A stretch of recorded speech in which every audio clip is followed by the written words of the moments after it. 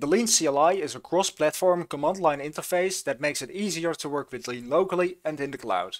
This allows you to spend more time on writing algorithms and less time on getting your tools to work. Installing the CLI is easy. First of all, make sure Docker and Python 3.6 or later are installed on your machine. Then, open a terminal and run pip install lean. This will take a few seconds, after which the lean command is available in your terminal. After that, you need to create a directory which will hold all your lean projects. In this example, I will call this directory lean CLI, but you can use any name or location you want. Navigate to this directory and run lean init. This command downloads the latest sample data from the lean repository and extracts it into the current directory.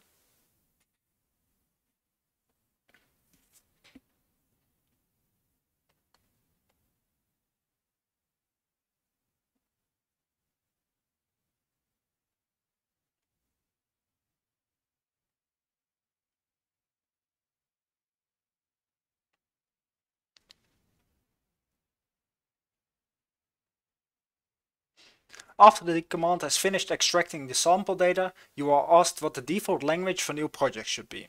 I will choose Python. If you want to use any of the cloud functionality of the CLI, you also need to log in with your QuantConnect account. To do so, run the lean login command. This command asks for your API credentials, which you can request by going to your QuantConnect account page.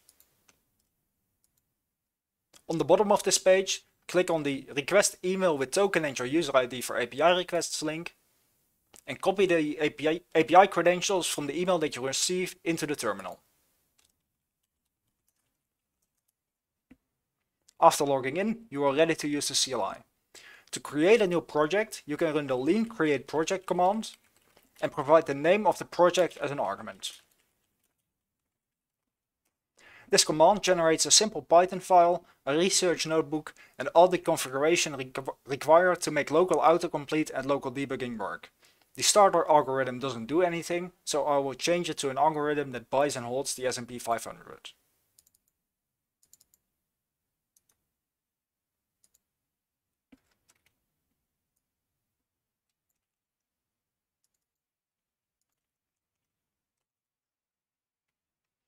Backtest this algorithm locally, we go back to the terminal, we run lean backtest, and provide the name of the project as an argument.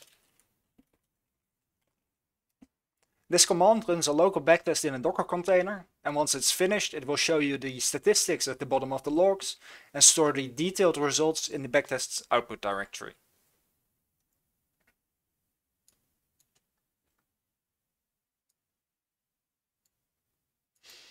After you are done with backtesting and want to go live, you can also use the CLI to start live trading locally and in the cloud.